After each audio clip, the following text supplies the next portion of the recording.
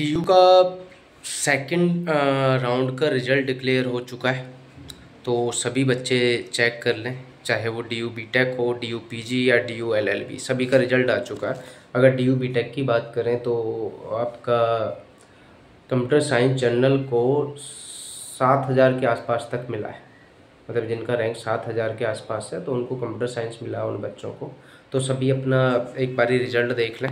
और प्रोसेस यही होता है, मैं जो ऑलरेडी आपको बता चुका हूँ कि आपको पहले अपना सीट एक्सेप्ट करना अगर सीट मिल गई है। अगर सीट नहीं मिली है आपको तो नेक्स्ट राउंड का अपडेट करना है।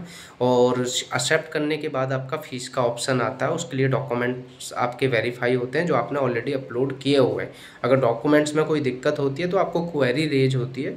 और क्वेरी रेज होने पर आपको उसका रिप्लाई करना होता टाइम से। अगर आपको कुछ दिक्कत होती है डॉक्यूमेंट वेरिफिकेशन में या कोई प्रॉब्लम आती है तो हमारे टीम के साथ कोऑर्डिनेट कर सकते हैं triple nine zero triple two double four seven पर।